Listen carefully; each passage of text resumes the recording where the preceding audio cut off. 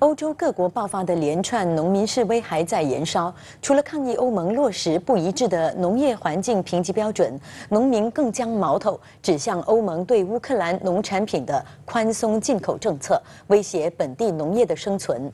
法国总统马克龙也敦促欧盟拟定新的市场机制，保障公平竞争。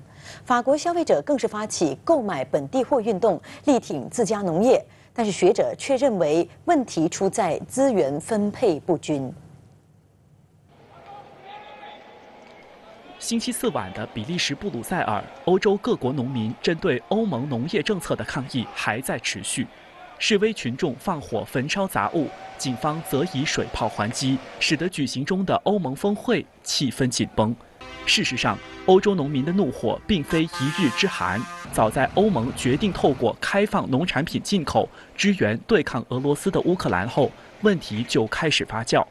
各国农民认为，价格更低廉的乌克兰农产品使得本地农产品失去竞争力。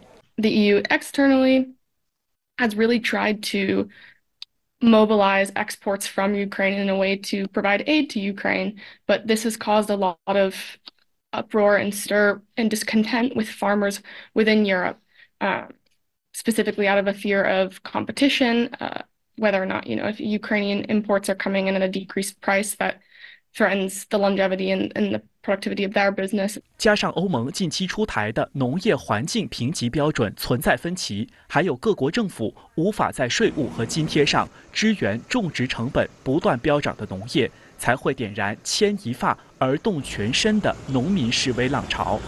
从法国、意大利、希腊到葡萄牙等国，农民将拖拉机堵塞在道路，表明不再配合无理措施。虽然欧盟宣布延长乌克兰农产品的进口税直到明年，却没有起到降温作用。连出席峰会的法国总统马克龙也在场外公开呼吁欧盟必须拟定更公平的竞争制度，保障各国的粮食主权。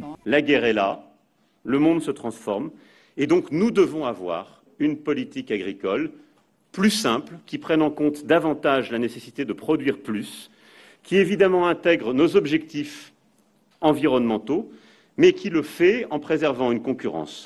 与此同时，为了抗衡舶来品的竞争影响，法国消费者也自主发起购买本地货运动，选择价格稍贵的本地蔬果和肉类，以行动力挺自家农民，争取更合理的经营环境。不过，德国罗斯托克大学的农业经济学家拉克纳却反对将乌克兰当作箭靶。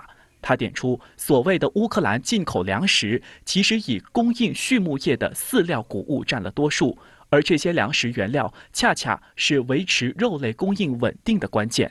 Geben das die Preise nicht her? Man kann überhaupt keinen Beweis führen, dass die Importe aus der Ukraine wirklich schädlich sind für die europäische Landwirtschaft. Man muss ja hierbei bedenken, viele dieser Importe aus der Ukraine sind Futtergetreide, Mais.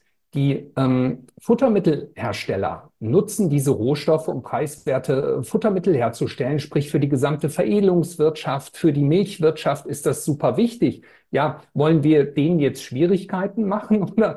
拉克纳表明，欧洲农民的不安其实源自更基本的问题，也就是长期资源分配不均。一些农业领域在过去的两年来获得更优良的发展条件。